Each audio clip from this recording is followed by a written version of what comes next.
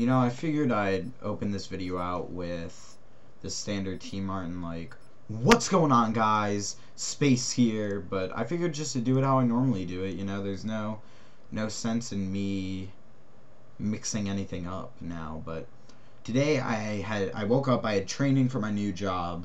I'm a snowboard instructor one of the mountains in my state and I had training today. So I came home from training and I was really tired. So I hopped on some Call of Duty just to play. You know, I had some things to get done. But little did I know that this day of Call of Duty was going to be very interesting. It wasn't going to be like anything else that's ever happened before. Uh, for me and for my YouTube channel because I've never uploaded uh, I've never uploaded like a nuclear gameplay before because I've never really like on Black Ops 2 I was way too focused with competitive to try it but on this game, you know, it, it's weird because I, I didn't even try for it. I was actually, this game, I was going for my gear for the Purifier.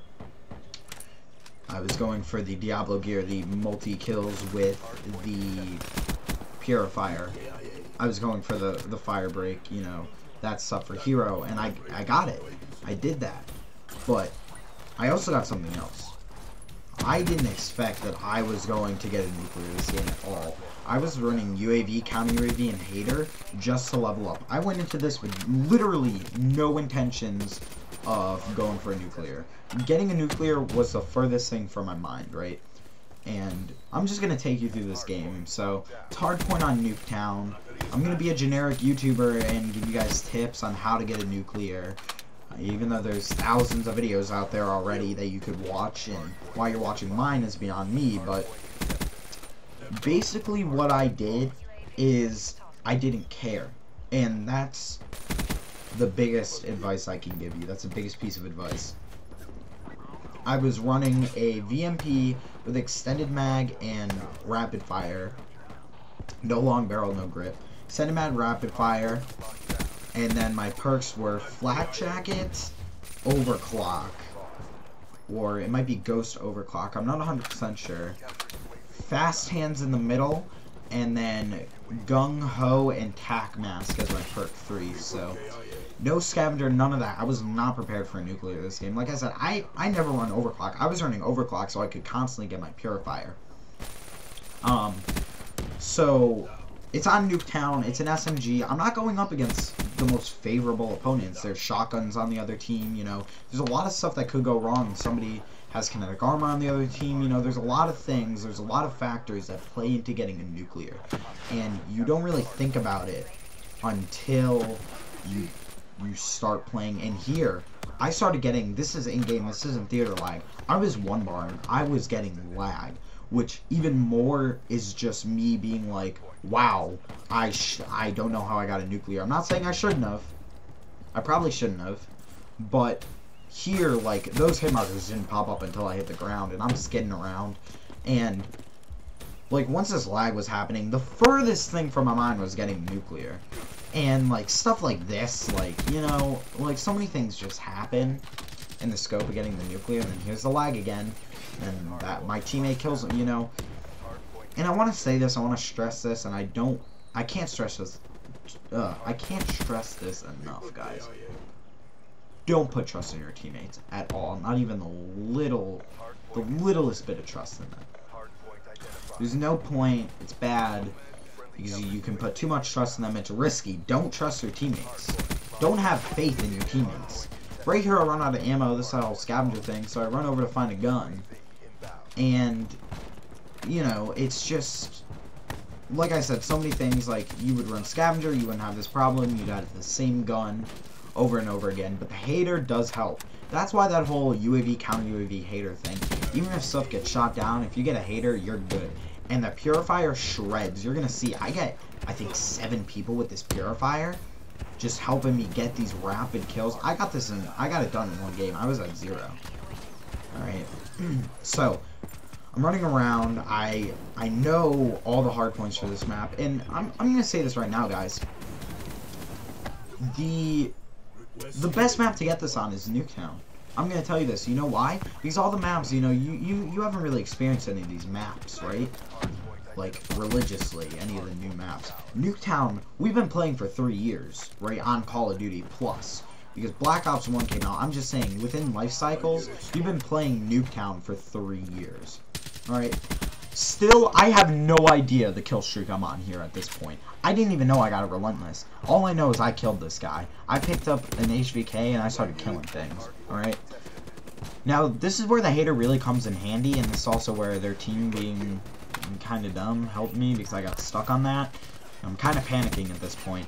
Now, if you're going to notice, look at my mini-map, and my HATR is going to pop somebody up on the other side of the map right now. So I know, hey, there, there's no point in me being on that side of the map. I got to go to the other side of the map to get these kills. I'm to pick up two kills right here. I got one guy weak, that saved me, and I get the Brutal. And when I see that pop up, I'm like, holy shit, I have a Brutal. So I'm like, I gotta go for this nuclear now. So it's five kills. And this is where I start stressing, but I keep my calm, right? So that's three kills that I've gotten. I come over here, I reload, I'm running around. There's one person here, I kill them, and I turn around right now, and I get the nuclear right there, right? So here's what I'm going to say. Don't stress out. Alright, that, that was the best part of the gameplay. I'm using the rest of the gameplay just to talk. Because I get the unstoppable, I get that unstoppable, and I die. I'm going to tell you this right now. If you go in and you say, I have to get a nuclear, you're not going to get a nuclear. And I'm going to tell you why you're not going to get a nuclear.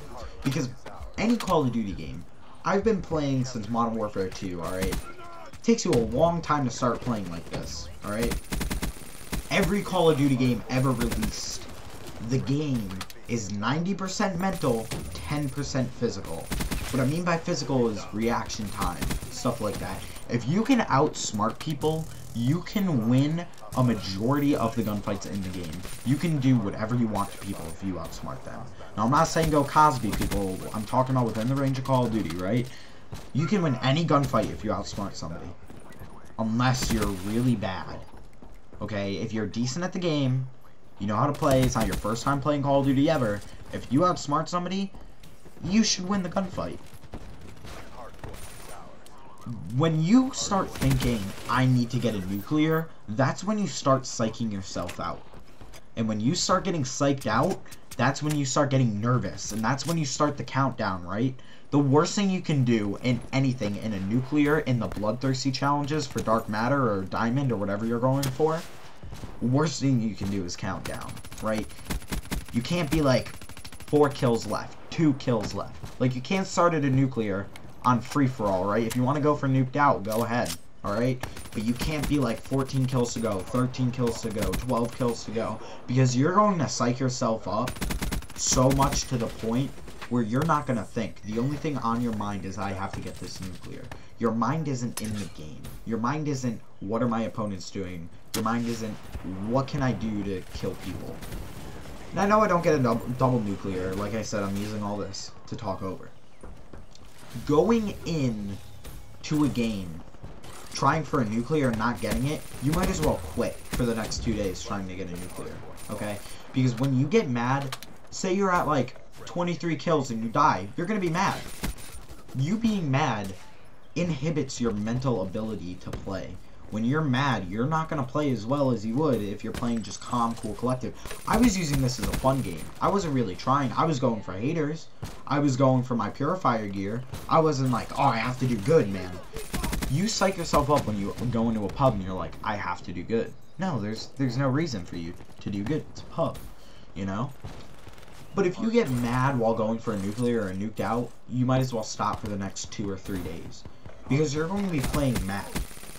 And you might think, oh no, if I take a break, I'll be fine. No, no, no, no. Because you're going to start going for that in the same day and you're going to get even more mad. Your anger's just going to build. And the more angry you get, the less likely, likely it is that you're going to get a nuclear. You're just not going to get a nuclear that way. And it sounds ridiculous when I say, yeah, I wasn't trying for a nuclear. Uh, you know, I was trying in the game. I was trying to get my purifier kills. But somehow that resulted in a nuclear. I, like, when I got that, I was like, what the fuck just happened? I literally saw the Brutal and I was like, I'm on a fucking Brutal? I was like, oh shit, I gotta get these five next kills. Right?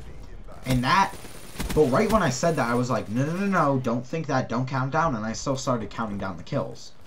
You know, because I didn't. I wanted to make sure that I could play until the point where I would get the nuclear. I wanted to make sure that I could play and be sure that I would secure the nuclear at that point because if you try for it and you count down, like you psych yourself out way too much. And I do that with my blood. I did that with my bloodthirsties, especially on snipers in this game and on Black Ops 2. I did that for diamond snipers. I psyched myself out way too much to go for that. Way too much. Because I would count down the kills, and then I would die at 4, and I would get mad. I would die at 4 out of 5 kills with a sniper, and I would get all mad, because I tried to do it on Nuketown. Alright? So I got all mad about it, and then you might as well kiss it goodbye. I mean, if I can kiss 5 kills goodbye when I'm mad, there's no way that I would be able to get close to 30 without dying.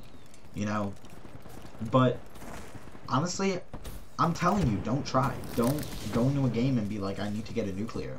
Because a lot of the reasons why people go for nuclears, I'm guessing, oh, it looks cool, it's a challenge, or their friends have all gone to nuclear. Now listen, if people are going to pester you that you didn't get 30 kills without dying on a video game, probably aren't the people you want to be playing Call of Duty with, because that seems pretty toxic. It's a challenge, people, remember. Challenges are supposed to be challenging, they're supposed to be fun.